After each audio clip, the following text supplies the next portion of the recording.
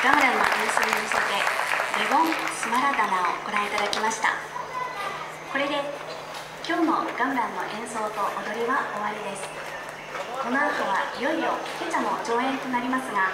ケチャの上演に先駆けてケチャを上演するための場所の準備そして出演者の準備を